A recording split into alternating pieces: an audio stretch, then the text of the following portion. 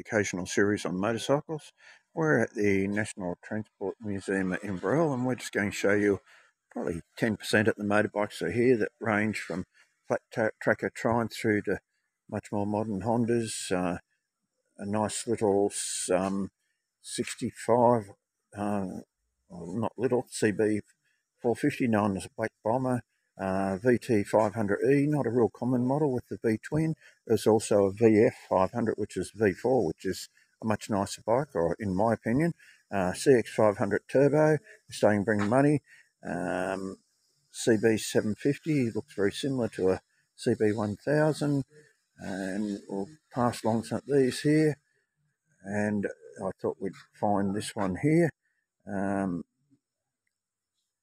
CB 1100. I think I've been out in the road on that one from memory, or not riding it, but with it.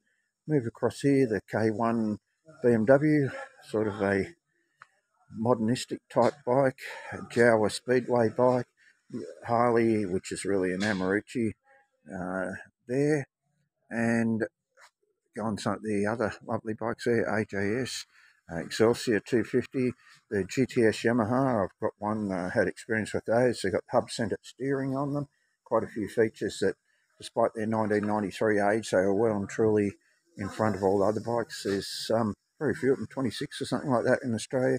TZ350A, great killer of um, the four strokes, the BSA um, B40 up the back, I think from memory, ES2 Norton here, great racing bikes. Um, move on to a little Bridgestone 175, probably better known for the Bridgestone GT350, lovely Velocette um, Clubman Venom there in the background, great bikes, handled beautifully.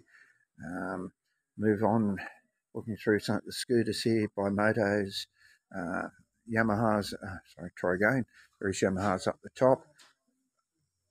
You can see some there, uh, MT or CR Hondas, and move down here to an NSU, something un more unusual ones, Moto Guzzi, um, little Yamaha Delta box there, uh, not real common, water cooled. It's only quite a, quite a small one.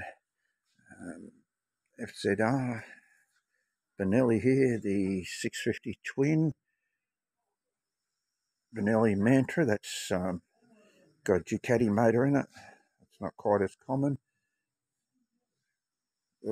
No Velocette here, Mark II 200cc LE, horizontally opposed, water cooled. Um, from memory, I think the Mark II had the kickstart, the early ones had hand start uh, hand gear change. No, this one's got the hand start there on, down the side. You see the lever. Uh, BSA Bantam. So the other bikes here, early model Royal Enfield, uh, 52 model, James over there. Have a move over here, quick look down through some other early model um, Aermacchi SX250, I think from memory, a couple of Royal Enfields, nice Triumph there with some great period accessories on it and trim work on it, and a nitrous oxide powered VMAX. I've had one, ridden one. If it didn't have enough power, I don't know what sort of power they wanted to put nitrous oxide on it because you really didn't need to have anything like that. These bikes were a rocket ship in their normal sense. So hit the subscribe button. Tell us about perhaps a motorbike museum that you've seen. This is the National Inverell Transport Museum, and this is just some of the bikes they have on display. Hit the like, add some comments.